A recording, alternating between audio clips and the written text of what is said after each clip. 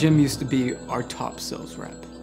He was he was outgoing, vivacious. He was our killer sales guy. Meet Jim. He's overworked, exhausted, and scared. An utter mess. He has trouble getting his prospects to take his call, and when he does, they seem to know everything about his competitors' solutions and product benefits.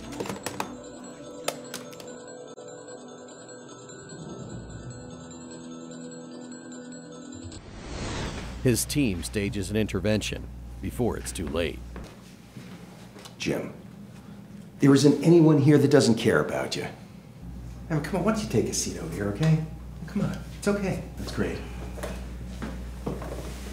My name's John. Your friends, your coworkers, they want to tell you something. Steve.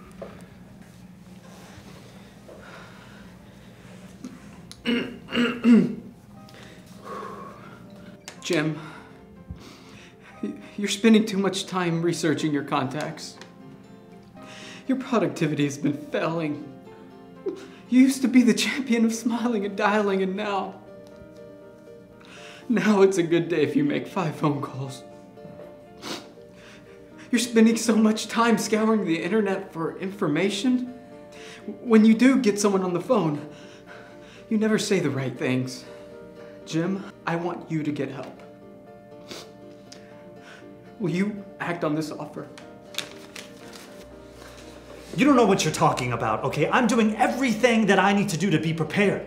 What's gonna happen to my accounts if I leave? Jim, your colleagues, um, they want to try to give you a chance to, to reset, to try to become the sales professional that you used to be. Yeah, but how am I gonna do that? I'm here today to offer you support from Lattice by helping you filter through all the information available so you can focus on who's ready to buy, when they're ready to buy, and how to pitch.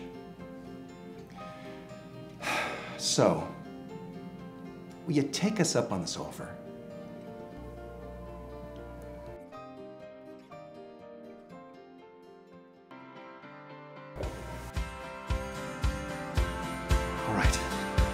Do it. I'll go to Lattice. Come on, guys. Yeah, come on. A little hug.